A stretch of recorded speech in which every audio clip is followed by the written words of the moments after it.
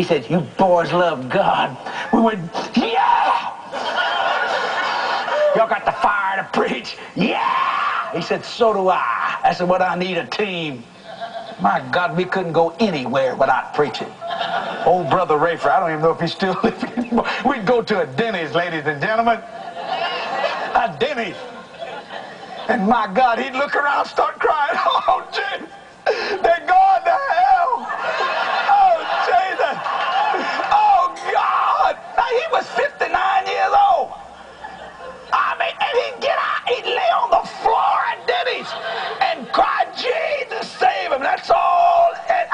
I get up in that, in that, booth and I'd go, repent, for the kingdom of God is at hand. That's all it took, boy. Boy, people dropping spoons and grits and eggs flying everywhere. We preaching. Get thrown out.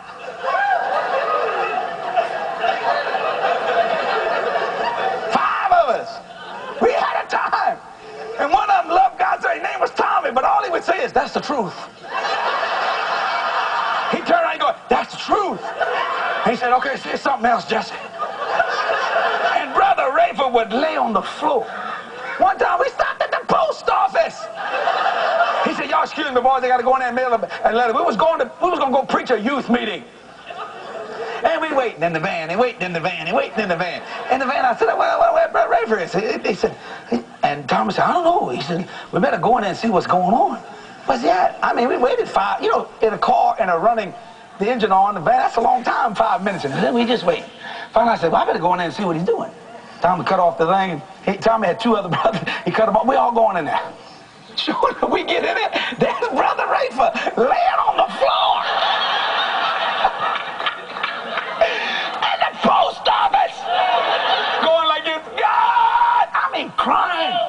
God would touch his heart, man. He had a heart for so. Jesus, these people, these people in line going, what is going on?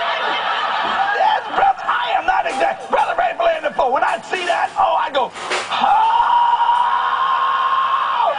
They turn around I'd go, that's all I knew was repent, for the kingdom of God is at hand.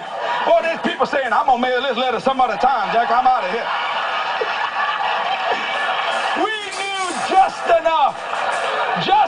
Enough to be dangerous. But we got people saved, and they're still saved. Man, in that post all I said, yeah, God, that's all I knew about was hell, because God had just delivered me from hell. I didn't know anything else but hell. That's it. I said, you're going to hell. And Tommy said, that's the truth.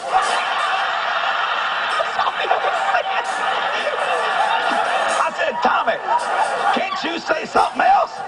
He said, my mind goes blank. That's all I can think of. I'm not exaggerating, ladies and gentlemen. We had made up our mind. We determined not to know anything else but Jesus Christ and Him crucified. Everybody thought we was crazy, but that's all right. Our faith did not stand in the wisdom of men.